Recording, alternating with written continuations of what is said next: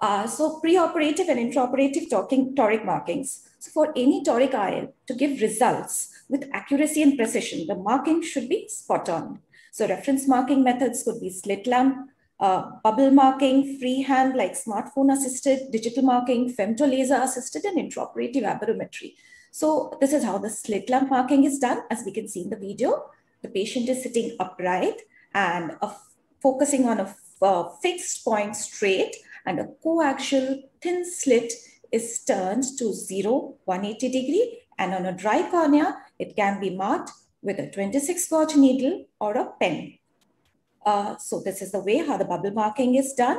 Uh, on the OT table, the patient can be seated straight and the patient should be looking straight and after a speculum, after giving a paracaine, the bubble should be in the center. So the technique uh, definitely does matter sometimes and gently place the marks. Uh, this is how the freehand marking is done. On a dry cornea, after putting the speculum, we need to hold the torchlight straight and the patient is looking straight. But the uh, tip should be always marked once. It should not be smudging and it should be straight on a dry cornea. So confirmation of the reference axis can be done uh, with um, uh, smartphone apps and uh, uh, these are available online. It could be on the Google Play Store or the App Store. The Barrett's marker is available. Now this is, um, I'll show you how to do the smartphone marking. Uh, everyone cannot afford the digital marking and the smartphone marking is equally accurate. So this is a gyroscopic assisted uh, uh, app.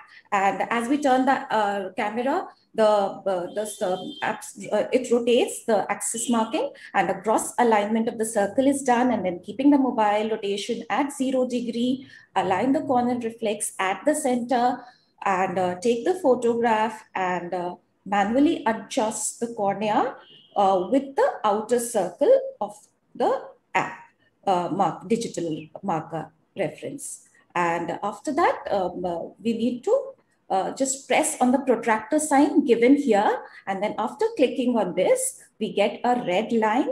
And that red line, uh, we need to drag through the mark and through the center of the circle. And then we get the misalignment on the top like this. So um, uh, ink marking in the theater can be done like uh, uh, we need to just on a dry cornea, we need to align like over here, it was 170 degree, the 90 degree can be marked. And then again, the axis of placement of the IOL can be marked. But then the problem with all these is uh, the marks can be, uh, can bleed. There can be double marking with slight shaking. Uh, so uh, again, uh, for a good surgical flow, all the image guided system has become very common. And the image guided system, as we can see, is uh, consists of three units, the Verion measurement unit, it can be Verion Callisto and any other, like the Verion measurement unit with the near infrared LED lights measures the spheres and the cylinder power of the central 2.8 degree of the uh, cornea and uses multiple reference points on the uh, conjunctiva, limbus, scleral vessels. And then uh, this uh, detail thing is passed on to the vision planner and then into the Verion digital marker. over here, now this digit, this creates a digital overlay.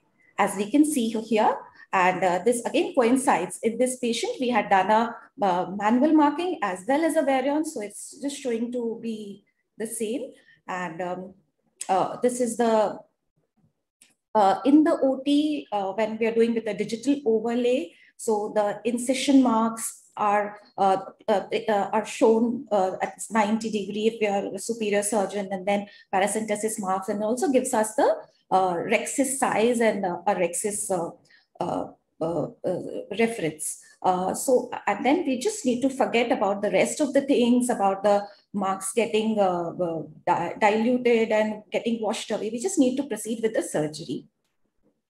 So this is how the implantation is done. So at the time of implantation, we again can see that uh, we just need to give the IOL and uh, the, the Verion shows us the axis of placement and we need to uh, uh just put our IOL, align our IOL along the axis of placement and wash behind the IOL and uh, the chamber should not be tight and uh, the Purkinje images should overlap.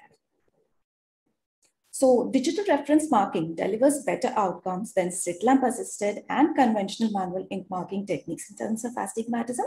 But as far as the smartphone assisted is concerned, we found very good results and equally uh, comparable results in the study done at our center. And uh, femtosecond laser assisted marking can also be done. It could be the corneal marks with the femtosecond laser or the capsulotomy marks, but the capsulotomy marks are more reproducible, sharper, radially closer to the IOL marks. And uh, there's a small tilt effect or parallax error and the capsulotomy marks are much more precise in that way. Uh, intraoperative wavefront aberrometry can be used.